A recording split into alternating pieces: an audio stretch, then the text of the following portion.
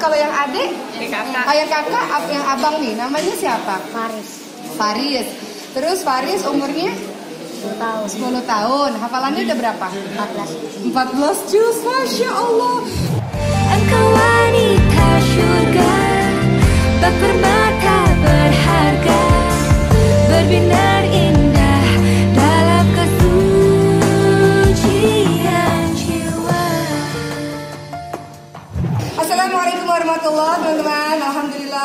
lagi di vlog saya pada hari ini Dan hari ini rekamnya pakai handphone karena nggak bawa kamera Tapi karena ada sesuatu yang menginspirasi Jadi saya mau berbagi ke- kepada teman-teman sekalian Tentang adik-adik kita yang sudah menghafalkan banyak sekali uh, juz-juz Al-Quran Coba kita tanya Assalamualaikum ini namanya siapa?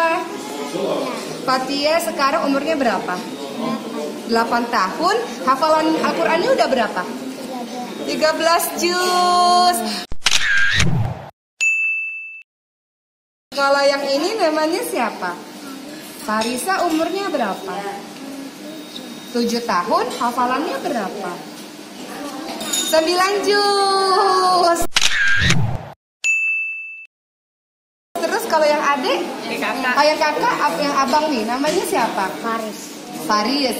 Terus Faris umurnya 10 tahun 10 tahun, hafalannya udah berapa? 14 14 juz, Masya Allah Dan sekarang mau tanya dulu nih sebelum kita dengar adik-adik kita ngaji Mau tanya dulu sama umi-uminya Karena umi, umi uminya Fa Tia yang mana?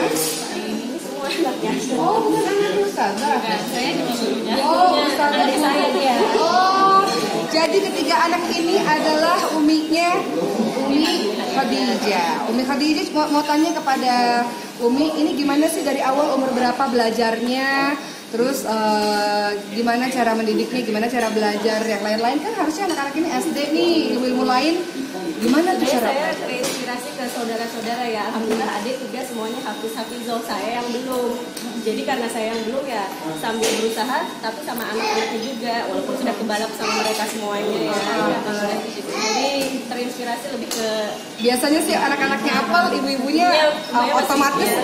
apal juga karena tapi kan masih jauh lah. Iya, mereka tapi otomatis ibu ibu-ibunya jadi ingat lah ayat-ayatnya karena ngebantu lah tempat-tempat familiarnya. tempat-tempat familiar karena ngebantu nyimak setoran. Jadi eh, Umi Khadijah coba cerita kepada kita anak-anak ini dari umur berapa mulai belajar Al-Qur'annya?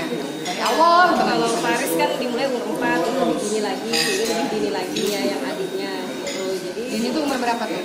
ya umur 3, umur 2 gitu. Cuman kan saya ini belum yang fokus-fokus banget, jadi harusnya mungkin mereka udah selesai gitu. Saya sebenarnya punya target 10 tahun udah 30 juz. Ah. Cuman ini sudah 11 bulan jadi udah ayo ayo mudah-mudahan bisa selesai lah tahun ini. Nah, kalau dia ini si Farisa ya, dia bisa baca di usia 4 tahun. Baca Iqra di usia Quran, Quran, baca tulis dan lain-lain. Jadi sudah setelah bisa baca, nah setelah itu baru bisa ditarget sehari setengah halaman, setengah halaman. Karena mandiri. Ya, kita ini memandirikan mereka lah. Masih dalam proses sih Ustazah ya. Jadi biasanya tuh di awal pertama-tama eh, ustazahnya atau uminya yang membacakan ayat suci Al-Quran berulang-ulang.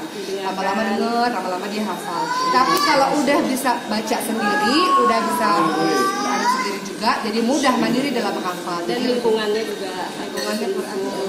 Terus gimana tuh eh, Um? Itu anak-anak masih denger kartun-kartun apa YouTube-YouTube yang lain apa emang fokus murotal terus atau Ya gimana? masih juga yang lain, cuman kita berusaha milih lah. Loh, mereka ini seneng ricis. Seneng Ria Ricis katanya.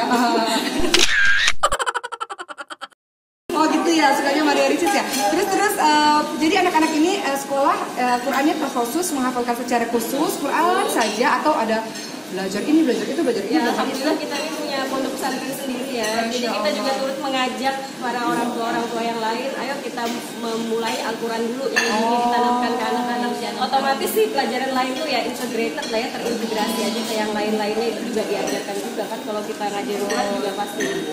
Tapi tidak terlalu fokus dengan pelajaran-pelajaran lain karena inginnya Quran dulu sebagai basic. diharapkan setelah dia tuntas 30 juz di usia dini ya usia 10 atau 11 nah habis itu baru kita masukkan akademik-akademik yang lainnya bahasa, bilingual dan lain-lain yang multimedia Betul sekali.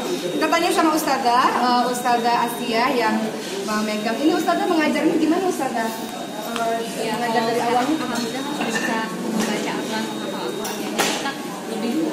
disiplinnya aja sih supaya setiap hari kontrol bukan sudah sih halaman atau jadi menegakkan jadi setiap hari ustazah menerima setoran ya eh, dari anak-anak ini? Ya berapa jam? Berapa lama? Uh, karena mereka mandiri jadi saya uh, hanya satu jam aja kalau waktu mereka. Jadi setorannya dan laporan pekerjaannya mengatur jadwalnya. Sehari satu jam sama guru. Ya yang lainnya sama kakak-kakak ah. kakak pendamping kan ada belum sama partner, belum sama uminya sendiri, oh belum mendengar. itu 24 jam setiap 24 jam. Tapi sama gurunya itu satu hari satu jam setiap hari. Satu jam itu dapat berapa? Iya. Satu hari dapat berapa? Eh satu jam itu dapat berapa? banyak siswa yang saya dengar kalau untuk hafalannya dia nambahnya sehari halaman ya hari halaman macam sih kemampuannya kayak gini setengahnya bisa satu bisa satu setengah dua halaman bisa Masya Allah. Kalau gitu kita dengar ada adik kita. Apa mau bertiga aja nih baca nih? ya Ya. sudah Eh, mau apa? Mau Ar-Rahman? aja? Ar-Rahman? mungkin favorit Oke, boleh. Kita akan dengar eh, adik-adik kita baca surah An-Najm tapi eh, estafet ya, jadi satu ayat, satu ayat, satu ayat.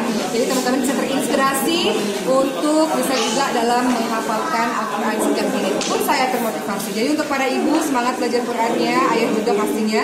Dan anak-anak sejak dini juga diajarkan Al-Quran. Banyak dengar merotor ayat suci Al-Quran dan pilih guru-guru, cari guru-guru untuk mereka bisa belajar Al-Quran. Jadi kita bangga anak kita bisa dekat menjadi ahlullah dan ahlul Quran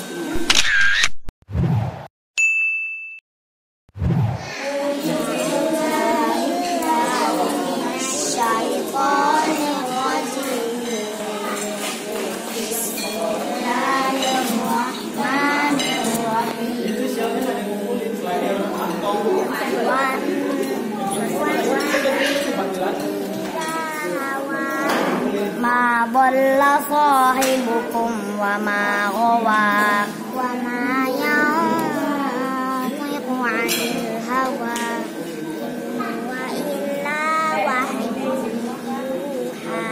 علمه شديد القوى.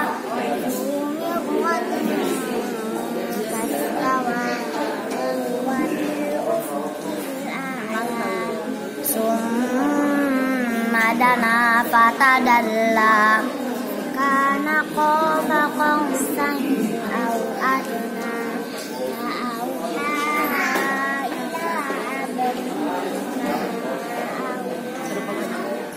صدق الله.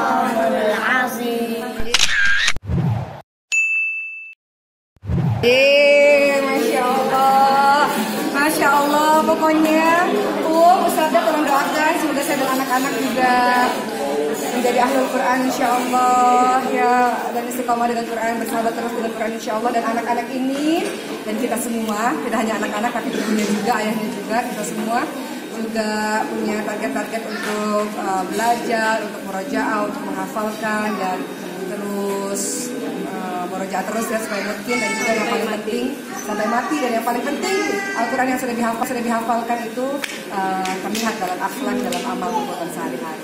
Terima kasih. Assalamualaikum. Engkau wanita surga Bak permata